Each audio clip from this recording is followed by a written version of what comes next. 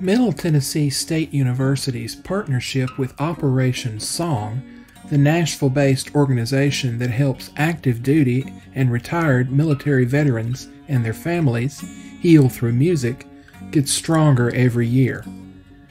Begun in 2016, the commercial songwriting program in MTSU's Department of Recording Industry, and the university's Charlie and Hazel Daniels Veterans and Military Family Center help turn student songwriters, student veterans, and Music Row tunesmiths into power trios for a day of talking, listening, and creating songs that tell the veterans' stories.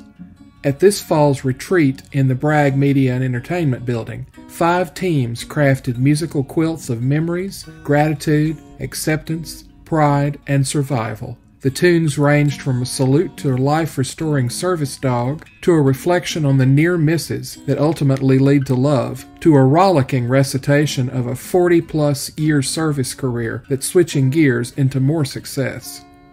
Dr. Hillary Miller of the Daniels Center says Operation Song is one facet of the services they provide to keep veterans and their families moving forward. She's thankful for every way each year's retreat helps.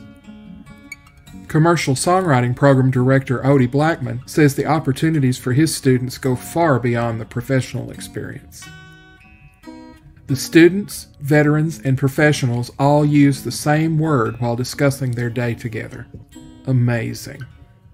To learn more about Operation Song, visit operationsong.org.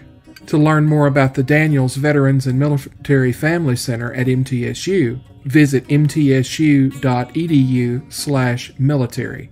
And to learn about MTSU's commercial songwriting program, visit mtsu.edu/programs/commercial-songwriting.